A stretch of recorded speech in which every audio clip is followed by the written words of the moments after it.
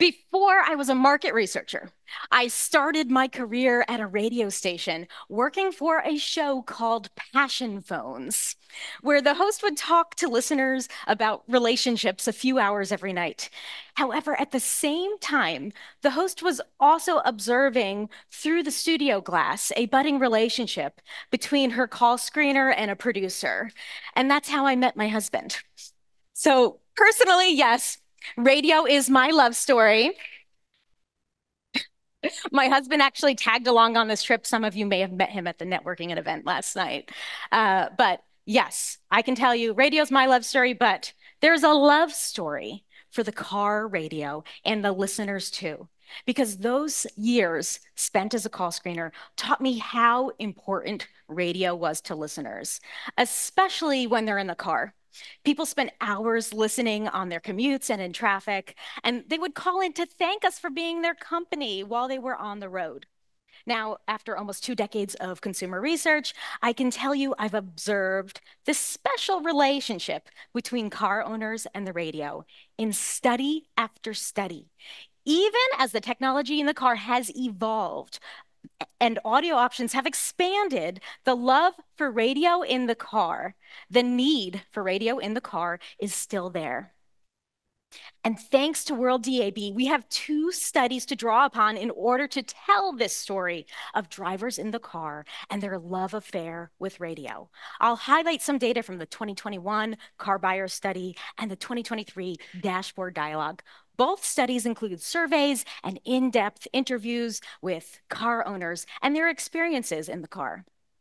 I also have lots of US data. Um, I have 10 years of data to draw from Edison's Share of Ear study. For this study, respondents in the US complete a one, dot, one day listening diary. And the key element of this study is time. How much are, time are Americans spending with different audio content in the car? So we'll answer that today. Now, all of this research really points to one thing. Oh. All of this research points to one thing car owners love radio, and a big part of loving a vehicle is the radio experience. Now, people have enjoyed listening to the radio in a car for about a century, but when streaming audio entered the picture, things got complicated, as they say on Facebook. And uh, don't get me wrong, streaming audio is great, and audio, audiences like having access to it on the car dashboard, but it is not a substitute for live, up to the minute, local, easy to use, and free broadcast radio.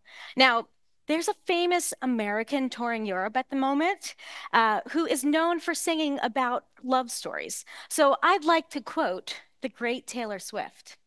And actually, with this microphone, I kind of feel like her right now. Best believe I'm still bejeweled. When I walk in the room, I can still make the whole place shimmer. Now, Taylor, I'll translate for you who are not Taylor Swifty fans. Um, Taylor says, Don't take anything for granted. Don't get too distracted by new audio options because radio is here to remind you that it's still fabulous and it's part of the magic of driving a car. And that brings me to our first main finding. Radio is, I don't know why this is automatically going forward, but radio is the most listened to audio platform in the car. This is true even among young listeners. It is so important to understand how the average consumer moves throughout their day. And when it's in the car, for most people, it's with the radio. In Dashboard Dialogue, we asked, which do you typically listen to most often in a vehicle? 61% of interviews said they listen to radio in the car most often. That's more than online music services, uh, more than their owned music collection, and all others combined. And that's pretty typical across all markets here. Radio is the most used service in the UK, France, and Germany. And here's weekly reach of radio in the car for those three countries. 86% of car buyers listen to FM or DAB or DAB plus radio in a vehicle in the last week. So radio listening is a solid habit among car buyers. Now, I'd like to share some figures from the US, but before we look at the in-car data, let's start with overall listening. In the US, we know that AM FM radio, including broadcasts and streams, reaches 63% of the population daily. That's 53% reach among Americans aged 13 to 34, 70% reach among those 35 to 54, and 67% among those 55 plus. And while those figures are impressive, what's really impressive is this. Today's 13 to 34 year olds are reached by at least some radio every single day, a stat that points to radio's resilient reach. On this slide, we represent in blue the 53% of those 13 to 34 year olds who listen to radio each day. Now, this can be surprising to those who believe young listeners use exclusively use these streaming services or only listen to digital audio. But location of listening is key when it comes to consumption among this group. The car is not only a good place to reach young listeners, but for many, it is the only place they listen among the 13 to 34 year olds who listen to any radio, 56% of them will only listen in the car. That means programmers should consider the fact that when their messages are heard by young radio listeners, it's often in an in car environment. That also means if radio were not available in the car, we'd be missing out on one of the most effective ways to reach a large portion of this young audience. So we've established how many people are reached by radio in the car, but I'll reinforce this key takeaway by also looking at the amount of time they spend listening. Now, share of ear respondents record their listening by the quarter hour. They report what platform they're listening on, so radio or podcasts or own music or streaming services. Um, they also report where they are when they're listening. And this allows us to look at the time or the share of time spent with audio in many different locations. And when we look at how much time people spend with different platforms in the car, radio comes out on top. In car listening is dominated by broadcast radio. So here's AM FM radio listening in the US in the car that's over the air and streams versus other audio sources. Again, this is the time spent listening, not the percentage of people. As of now, among those 13 and older in the US, 58% of their time listening in the car goes to radio. Now, Americans spend a lot of time in the car, and they're doing a lot of radio listening in the car as well. Further, those aged 13 through 34 spend just under half of their in car audio time with radio. That's where they listen, that's where you get their attention. Another way we can think about audio consumption is the type of listening, whether it's lean back, linear listening experience, or on demand experience driven by listener selection. In the car, 76% of time spent with audio by Americans 13 and older is with linear platforms, which include AM FM radio, radio streams, Sirius radio, and other radio services on demand platforms such as paid streaming services, podcasts, owned music that garner 24% of total in car listening time. So clearly, a very different picture than what is seen in other listening locations on that bottom bar there. What is it about the car that makes the linear audio experience that much more appealing? Listening to on demand audio means more time navigating menus and choices when on the road demands one's attention. Linear audio is, for most people, just easier in the car. The hardware is simple, and making an audio experience requires fewer decisions. AM, FM, and Sirius offer listening experiences where there's no pausing or rewinding, and the content choices are made by program directors, all positives in that linear environment. Uh, and there's also the added experience for radio, right? That added element that there's actual live people, in most cases, speaking to the listeners in real time, which provides companionship while driving.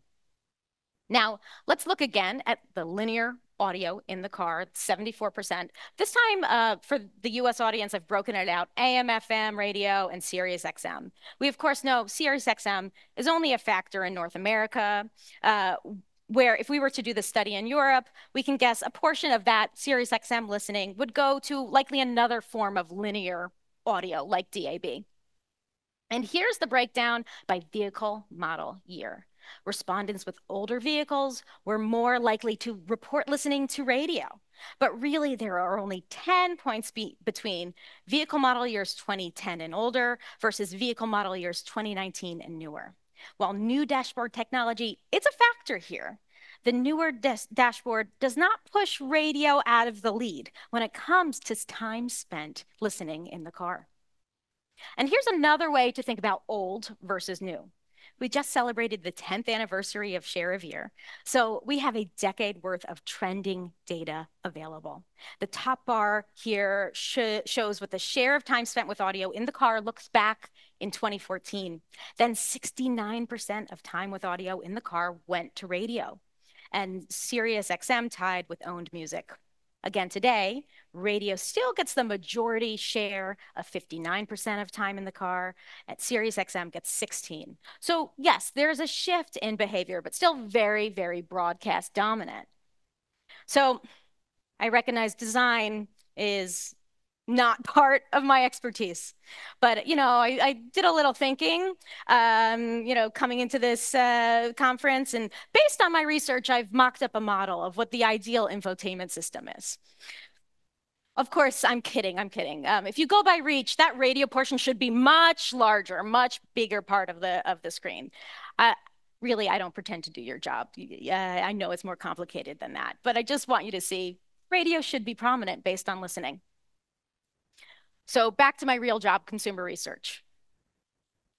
While conducting interviews with car owners last year, I was eager to see how people interacted with their dashboards, especially with some of the new fancy options available. Uh, and while they were happy to show off the bells and whistles on their new dashboards, they were just as happy to talk about their favorite radio station and why that made the car experience so enjoyable. And that's why radio is an essential part of the in car experience. The drivers we spoke to cannot disconnect radio from the car experience. The two are linked in the minds of the consumer in every market we studied. Part of the radio success in the car is this 80% of recent and prospective car buyers in the U UK, France, and Germany agree it's easier to listen to radio in the vehicle than other types of audio. There isn't much friction in the user experience when it comes to accessing the radio. And where there is less friction, there is more use and a more enjoyable experience. And in the US, we heard ease of use is a reason for choosing the radio in the car from 72% of those who used a vehicle. And that was true among the younger generations as well. 69% of those 13 to 34 said ease of use was a reason they use radio in the car. In the 2021 car buyer survey, we asked how much do you agree that FM and DAB radio and DAB plus radio, radio should be standard in every car. The response from all five countries were staggeringly similar. 89% or higher from each country agreed.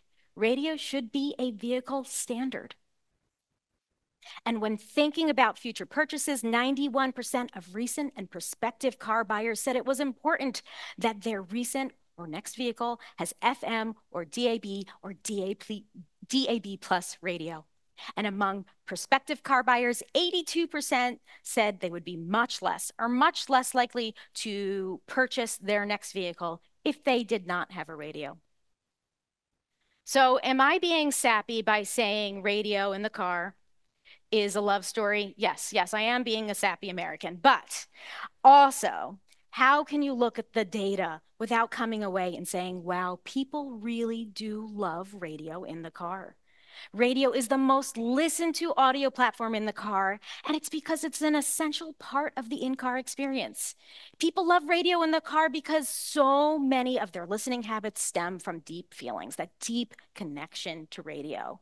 Radio is an essential part of the in car experience for many practical reasons. It's easy, but more powerfully, radio is essential because of the personal connections to the content, thanks to all of you great creators. So if you're asking yourself if you should prioritize radio content on the dashboard, well, Taylor says, it's a love story, baby, just say yes. And uh, a platform that serves so many people so well, uh, so well, deserves easy access and prime placement on the dashboard. I hope the next time you hear a Taylor Swift song, uh, perhaps on Capital mm, uh, news station, um, you remember that radio combined uh, contributed to a huge part of her success. Radio really was a big part in growing Taylor's career. And radio is and will continue to be a part of your success. Thank you.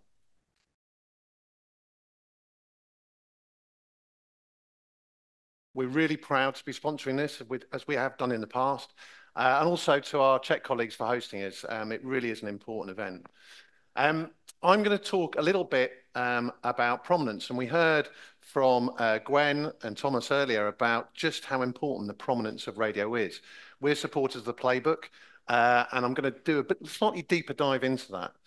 Um, and I feel I'm uniquely positioned to talk about prominence. You may have noticed I'm a tall giant, and people tell me they can see me from miles away. And in a crowd, I stand out and they can always find me. And that's what we want for radio. So I'm going to focus in a bit on that. But before we do that, I, for those of you that don't know who Radioplayer are, I'm just going to do a, a very quick introductory video. Well, radio is still massive. the most intimate medium that there is. It deserves to have a very strong future.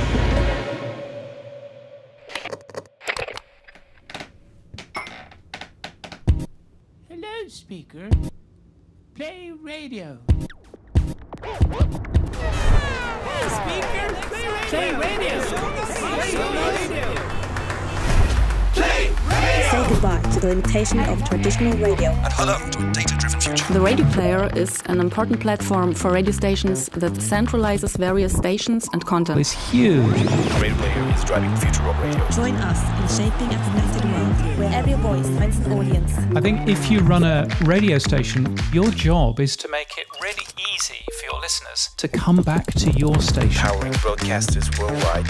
You know, we've been locked in a box, I think, from a creative point of view, that AM/FM technology box for so long, and that's been limiting. It's about diving into a new era of innovation and collaboration. There will be more technology that allows us to do what we do best in a more efficient and quick way. As technology advances, it can give us better distribution, and we're going to get better opportunities for innovation through technology. Connecting every car, home, and device to the beat of the world. Radioplayer is the key for having a strong presence of radio in the car, especially in a digital dashboard environment. There are too many car manufacturers for me to pick up the phone and try to negotiate, you know, a space in the connected car dashboard for our company. But maybe at scale as an industry, Radioplayer can solve that solution. So I think Radioplayer is hugely important from that point of view. Okay, so when it comes to automotive, our main focus is hybrid radio with DAB Plus at its center. And that's why prominence is so important to us. So just going to start, if you look at some of the broader challenges facing DAB Plus broadcast radio's prominence, there's a few, it's not limited to these things, but new technologies and user interfaces are having an impact. Everyone in this audience will know about Google's Android Automotive operating system and the fact that it brings into the car an app um, ecosystem. And that brings with it more competition, more availability of other media services that radio needs to battle against and fight against. There's also a demand for new digital revenue models um, by our OEM partners, and radio is not immune to that. It may be that some other services are even buying a prominent place, um, but we need to think about that. Um, and the perception of radio within the automotive industry, I think the people in this room and our partners here all understand the importance of radio that we've just heard about from Edison. But I think there are many others in the broader automotive ecosystem, new digital teams, who maybe don't understand the value of broadcast DAB plus radio. And that's why World DAB and others are so important in that communication. But some of these challenges are also opportunities, and I'm going to dive into that a little bit. So when we look at prominence for DAB plus broadcast, what are the ways in? Well, you've got the radio button that Thomas referenced earlier. You've also got voice, and arguably voice could be and maybe should be the most prominent way into broadcast. It's one request and you're in. We'll see about that. You've also got smartphone mirroring solutions, potentially, We have heard that Apple CarPlay in their new system are maybe going to be able to access the broadcast radio tuners. Could be another way in. So I just want to look at where we are today, where we're going tomorrow, some of the trends that might impact prominence, and then look at some of the things that we can do collectively to keep DAB Plus broadcast radio prominent. So in terms of where we are today, we did do a quick bit of research. I think uh, I, I, couldn't claim that this is completely representative, but what we did is we went in the UK to look at 10 new cars. These were from the top 10 OEM brands, new models, and we looked at two things. We looked at the radio button, the broadcast DAB Plus radio button prominence, and we also looked at voice and the extent to which you got an accurate request and then it played on DAB Plus broadcast radio. So let's just have a quick look at the radio button. Now, I don't know if you're able to see that. I'll just talk you through some of these things. But the first thing we looked at was, is there a radio button on the home screen? The number of clicks to access the radio experience, the number of clicks to actually play a radio station, and then the journey that gets you from first way in to actually selecting a station.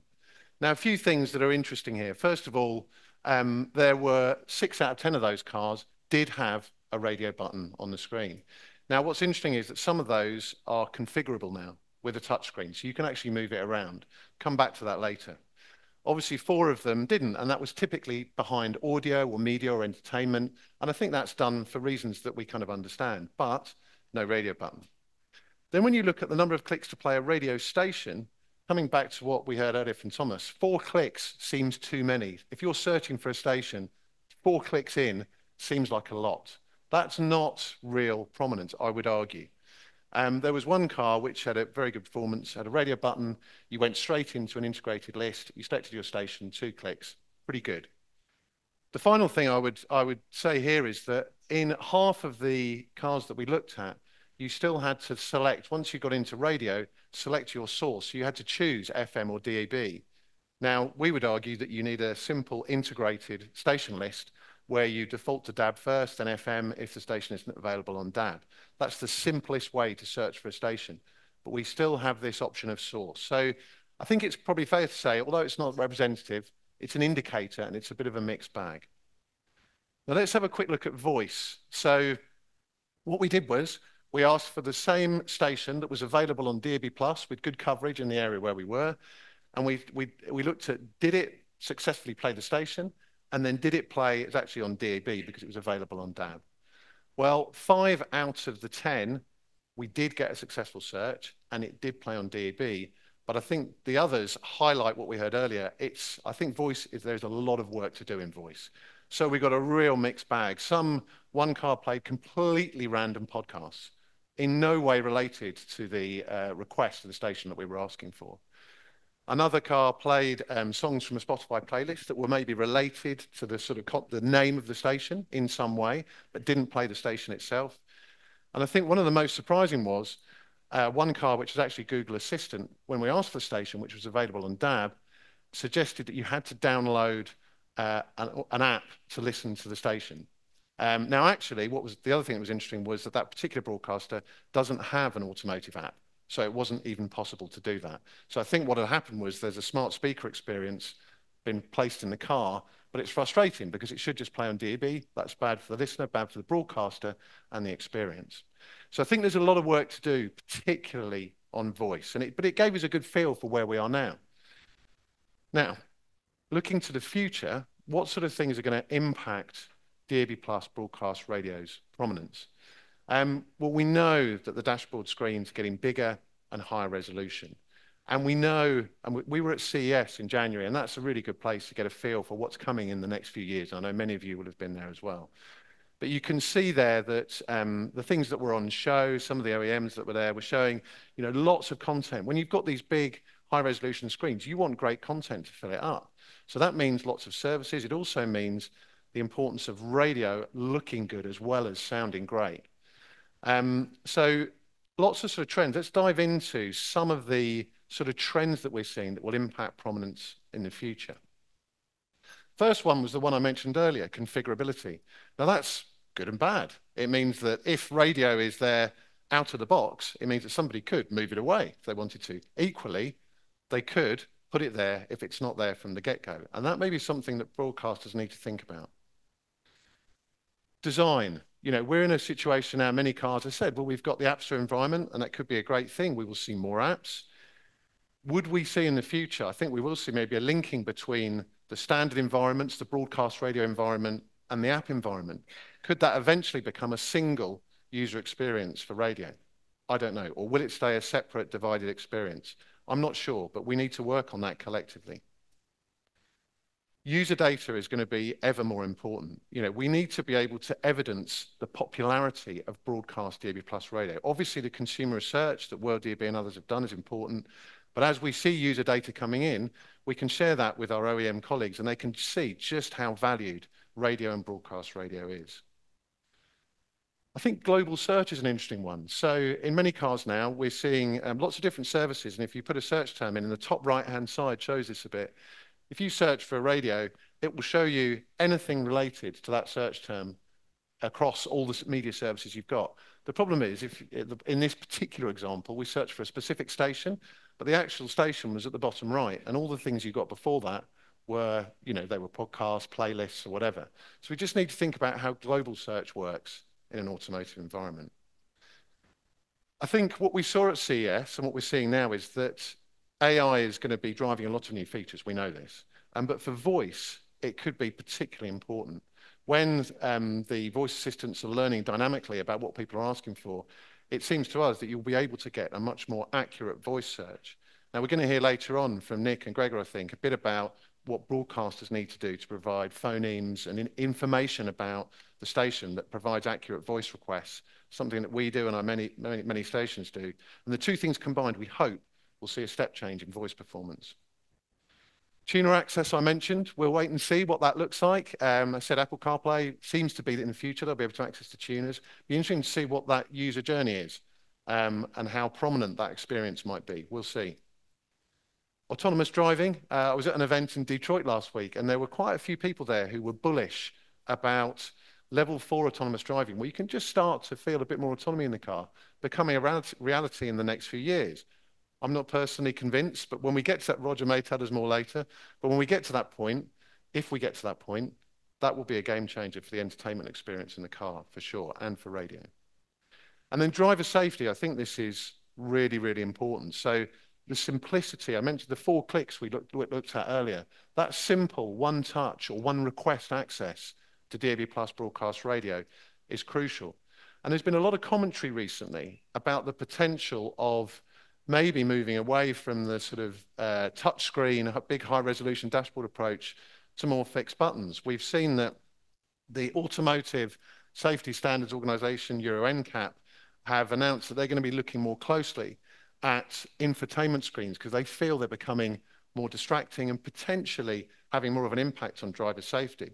We have seen in the last few years the number of accidents go up. We've seen numbers in Europe and in the US. Maybe they're not attributable to um, driver distraction, but we don't know.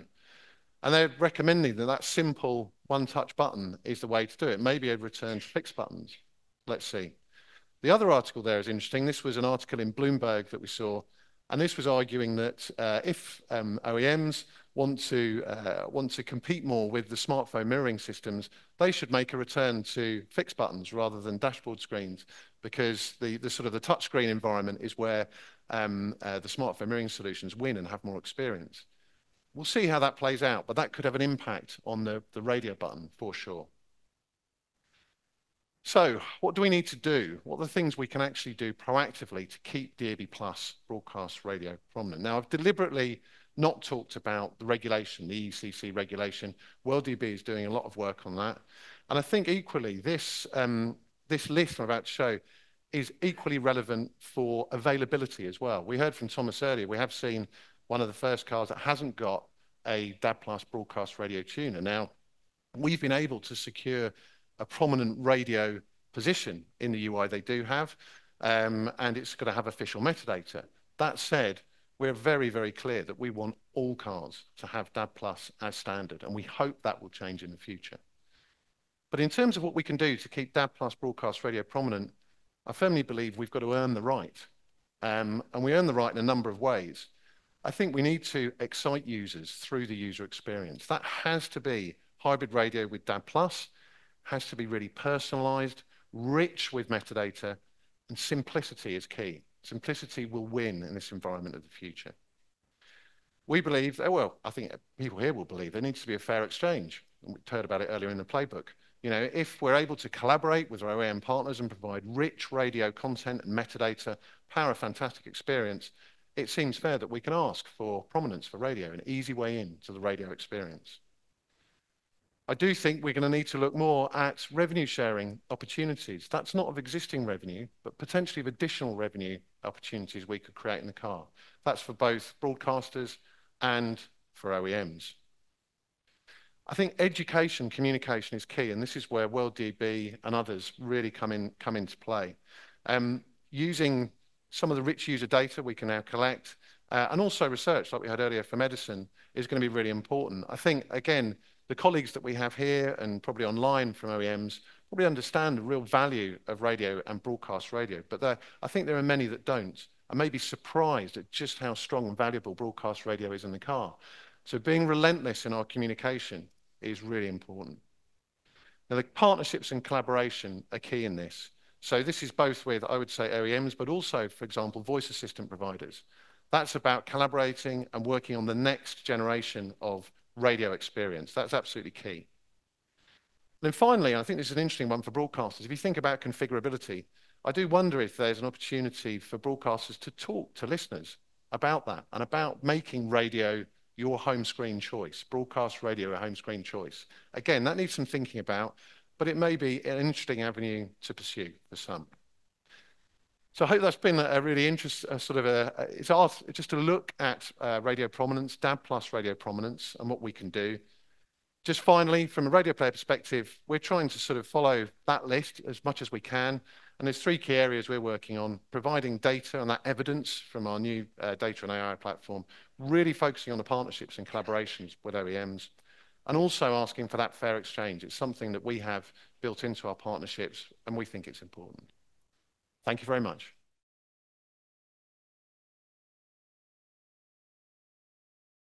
So good news. In 30 minutes, this is lunchtime. uh, but before that, I actually want to make sure that you attend Kathrin's presentation. She's going to talk about something that uh, uh, Jackie mentioned she loves, which is communication and marketing. So you're going to love that. And uh, uh these puppets here, I'm not sure we call them puppets, but uh, we'll see later on. They're very interesting. very, very, very interesting. So we, we, we heard a lot about radio preeminence with uh, the playbook or with the presentation from Laurence a few minutes ago. We also, we also heard a lot about radio being a daily companion. And we also heard that radio was a love story from Megan. Okay, so we're going to take, to start with, we're going to, to take a view from a broadcaster. So I'm very, very pleased to welcome Prune de La Fage Thank from you. Radio Classique.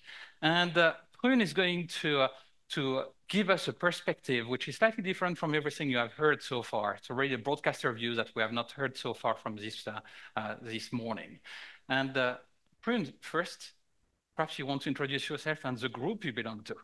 Yes, of course. Thank you very much. Uh, good morning, everybody. Um, I'm Prune. I'm the Deputy Director of Radio Classique, uh, which belong to the Les Echos group, Les Echos Le Parisien group, which is a media division of LVMH. Um, Les Echos Le Parisien reaches 25 millions of French people every day. And we have a, portfolio of a very prestigious brands like Les Echos or Le Parisien, maybe you know. And we cultivate uh, two core values in our group, commitment to quality and a spirit of sustainable innovation. We have a staff of uh, 1,800 uh, people with uh, 700 uh, journalists. And uh, we are leader in several, um, in several, sorry, um, themes. Uh, like uh, economic and business content and or arts, and we are leader in Europe on classical music with a brand you may know, um, uh, Medici, Mezzo, Euroarts, and Radio Classique is the figurehead of the classic uh, music uh, in France. Headed by Pierre Louette, the CEO and chairman of our group. Our group is a leader in several segments, like, as, like I said, economic and financial information or arts. Um, now I'll speak to you about um, Radio Classique. Just, just before you, you, you go and talk about Radio Classique, I don't know if you, you heard that correctly, uh, um, but Radio Classique belongs to a group which is LVMH, that's Louis Vuitton. Okay, and uh, so that means they belong to the most successful luxury brand in the world. It's a, uh, a company which makes billions of euros of revenue. Uh, so it's very, very solid shareholder for uh, for the media groups that belongs uh, to uh, that the media group that belongs to LVMH. And so Radio Classique is part of that group. And now Prune definitely tell us more about Radio Classique. So Radio Classique is a leading station for classical music, economic and business information and culture.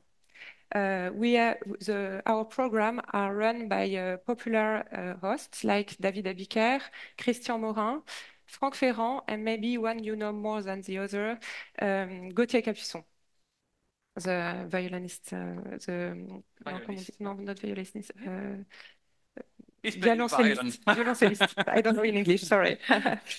so FM covers uh, 100 city and town for Radio Classique, and we have uh, 1 million of, of listeners every day. And we are also powerful on digital audience because we have uh, 4 million uh, listeners every month. And uh, we have uh, al also 5 million podcasts each month. Um, we have taken the DAB Plus to come to the subject uh, since uh, 2018 uh, because we had no transmitter in the east of France, and DAB was a solution to, to be heard by our listeners in this region. And um, a bit later, we took the national rollout strate strategy as soon as the multiplexes uh, were launched in France. And today, our technical manager and our um, teams are very involved in this project. Merci, Prune. So I, I, do remember some of you were uh, part of the launch of uh, DAB Plus in Strasbourg in 2018. Um, to put a, a, Radio Classique strategy into perspective, just want to summarize for you uh, what the strategy is for DAB Plus uh, deployment in France. So just to put that again in perspective, uh, France is 36,000 cities, 36,000. I think that's half of the cities in Europe. Um, such a you know a division which comes from way back when I think Napoleon or before, uh, and uh, you have you know 36,000 cities. You have 100 departments, what we call departments, so uh, a larger area, and then we have 13 regions. We like to do things very complicated in France, and uh, uh, that means also 900 different services for radio, 900 different services. Most of them are on FM. And uh, the strategy for DAB Plus follows basically the way France is organized. So you have local deployments, regional deployments, and national deployments.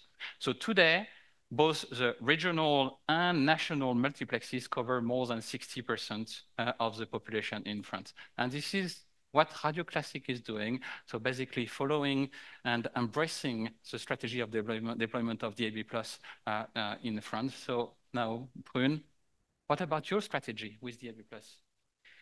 Yes, uh, I will sp speak about four main reasons uh, about uh, DAB, why we choose uh, DAB+. Uh, first, we need to be available at every place um, at any moment. The second one is uh, it's very strategic for us. I will explain you this later.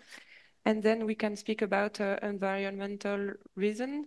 And at last, um, a bit about um, our independence as sorry, as um, editor with no gatekeeper. So the first, the first reason is uh, that radio changed over the time. First we had AM, then FM, and now DAB+. And Radio Classique lives uh, in this, in its time. So we need to be as close as possible to our listeners, being everywhere at any time. Even more on new devices like in DAB+, which provide more metadata and a better seamless experience, which is very important, important to customer sounds experience uh, in car. Um, the second reason, and maybe the main reason, is that it's strategic for us, Radio, radio Classique. Uh, maybe you know that FM band is saturated, and it means that it's quite impossible for us to increase our coverage of the ter French territories. Um, other radio like RTL, France Musique, France Culture have around 500 uh, transmitters in uh, France. France Inter has uh, even uh, 600 uh, transmitter and we have only 100 uh, transmitter. So it means that in average, we have three to three to six less transmitters than our competitors.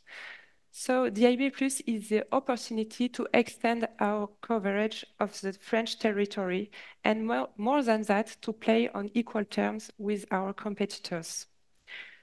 We could gain one point of uh, audience share, so it's very important for us.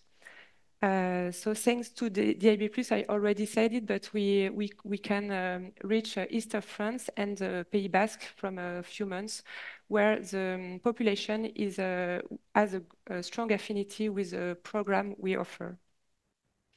So the economics are, are very clear uh, on why DAB+ for uh, for Radio Classique, but what about the environmental benefits that you mentioned earlier? Yes, I, I will be uh, faster, but uh, the DAB Plus uh, grouped together 13 uh, radio, so it's based than one radio for one transmitter. This is uh, the, the environment part, we can say it's greener.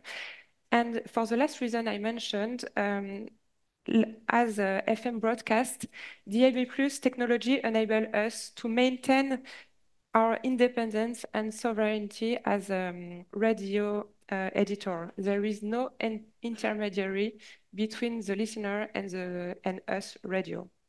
So as we know, we are an automotive conference here. So how important is the automotive sector, the car sector for Radio Classique? Yes, uh, I will say I will give two main reasons, two big category of reasons. So the first one are business reason, and the second one would be um, social responsibility. So the first one, the, the business, um, as you know, and as we, as it has been said before, uh, radio is a proximity and companion media. We even act, act as a timekeeper. You know if you are late, depending on what you are listening, where and when.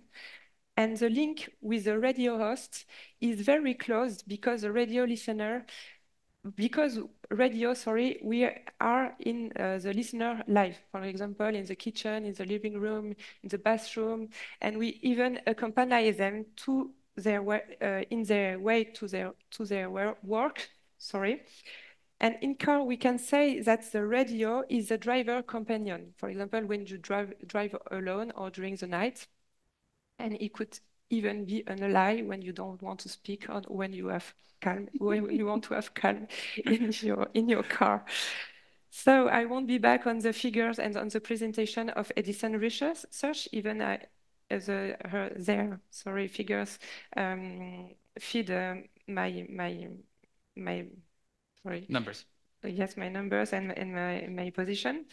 Um, but I will add some of the some other figures relative to uh, to um, our um, target audience.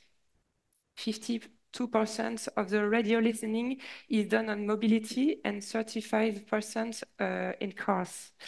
Uh, from Monday to Friday, 60 of the outdoor listeners are less than 50 years old. And uh, maybe the most important, 86% uh, of decision makers listen to the radio. Are, these are the three uh, figures. And I will add that um, radio is one of the main media to advert, advertise sorry, and um, sell cars. Actually, it's the second media after TV.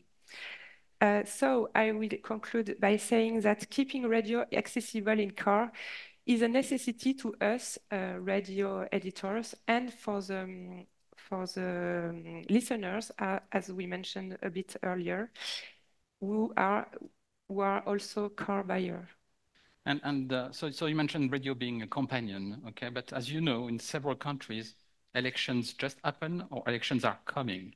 So I believe there is a connection between what you mentioned earlier, being a, a radio editor, and social responsibility. Can you tell us a little bit more about that? Yes. Uh, as a result of being a companion media, radio is also very trusted, 60%. Uh, and it's precisely the Radio Classique promises. We are deeply committed to decrypting, analyzing, and offering quality content contents to our listeners for both information and music. Algorithm of social network or platform adapt that, their content to um, the reader and to the listener um, uh, uh, sorry, uh, thoughts, and they lock them into their own pattern of uh, thoughts. And uh, as a reverse, program radio enrich and enlarge uh, the, the listener's point of view. So um, radio is a very strong tool to fight against fake news. And to keep people well and free informed is, is essential in the area of fake news. That's why it's crucial to have a radio very accessible in car. And I will add that uh, if you um, I will, I, I, will, I would add, sorry, that media are not the only guardian of their future the entire, the entire ecosystem must play its part in defending democratic foundation. Les Échos Le Parisien is a committed is, is a company committed in ESG issues. We have our part to, to play as media and even more so as a uh, committed company, but we cannot play, in a, play it alone. Uh, it's important that, that car constructors also take on their responsibility by taking the radio accessible in cars. And I will conclude with one of the drivers of Les Échos Le Parisien group by, um, by saying, uh, please together for a more responsible society. I thank you for your attention and patience, with my English. no, it was very good, uh, Thank you. Thank you very much. So I, I believe it, it, gave you a perspective which is slightly different from everything we heard so far. Social responsibility was not something we mentioned very often. We, we talk about preeminence, we talk about loving radio and so on. And the last part of our presentation this morning is going to switch gear again. We're going to talk about communication and marketing. So I'm very pleased to, to welcome Kathrin here, who is going to basically be our last speaker of the morning. Thank you, Kathrin. Thank you. Hello, um, I'm pleased to present our marketing campaign, the Bobbleheads. Um, I'm from Ofcom. My name is Kathrin. I'm from the Swiss regulator. And maybe just to transition from what we heard before, I think our a common goal that we as regulator have with the broadcasters is that we want our uh, the content, which can be music, can be information, might be sports, we want that to reach the audience and we want the audience to know where to find it. And this is why we have a marketing campaign which is targeted especially at drivers. I'll just give you, for those who don't know yet, a little overview of the situation in Switzerland. You might know that um, DAB coverage, DAB Plus has been uh, really advanced in Switzerland. Um, we have very good coverage, almost 100% coverage of DAB plus in our country. Listening is mostly digital, um, can be DAB plus, can be IP, but in any case, FM is only a really small part. I think we have like about 20% of listening is via FM. We've had um, a switch off of FM has planned for a while. It's been pushed along a couple of times. Um, the last date was 2024. And now the FM licenses have been extended until the end of 26. But we think that uh, well, it depends on the radio stations because it's up to them now, but FM is going to begin to fizzle out. We expect that starting from 2025 and in 2026, we're going to have less and less uh, FM coverage. And this is something that the population needs to know. That's why we have a marketing campaign.